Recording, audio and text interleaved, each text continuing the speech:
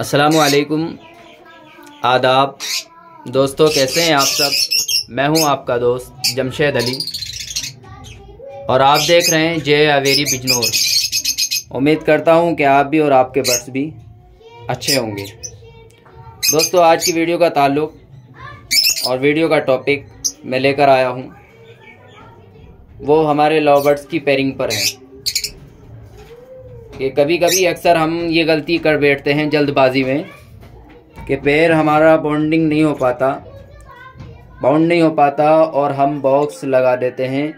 और बॉक्स लगाने के बाद क्या होता है दोस्तों, इसके बारे में मैं आपको बताता हूँ। पैर हमारा बना नहीं और मेल फीमेल आपस में फ़ाइट करने लगते हैं या फीमेल मेल को मारने लगती है।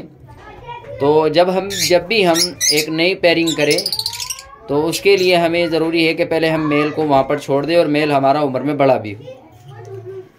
और मेल को हम छोड़ें केज के अंदर 10 से 15 दिन।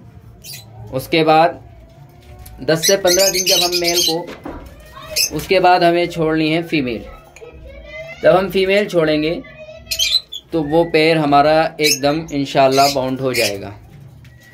अगर हम ऐसा नहीं करते दोस्तों, क्या होता है कि हमने बॉक्स लगा दिया जल्दबाजी में ब्रेड लेने के चक्कर में?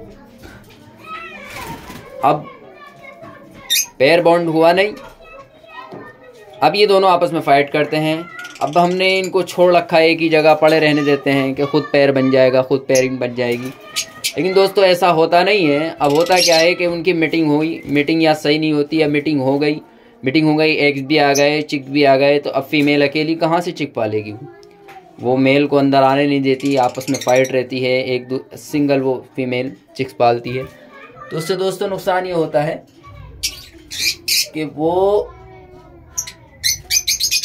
फीमेल बच्चों को अकेला नहीं पाल पाती और चिक्स जो है, वो मर जाते हैं।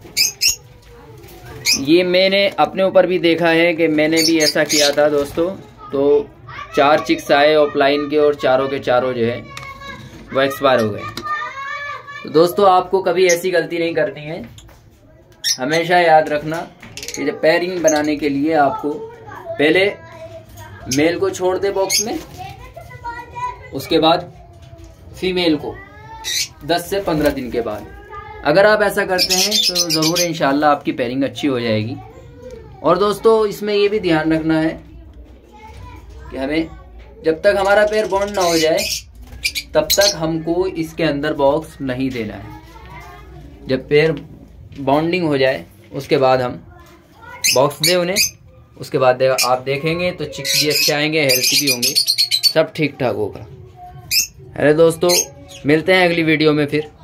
अगर आपको मेरी वीडियो अच्छी लगे तो आप लाइक और शेयर ज़रूर करें। और मुझे कमेंट बॉक्स में बताएँ कि मैंने वीडियो अगली वीडियो किस टॉपिक किस टॉपिक पर बनाई जाए।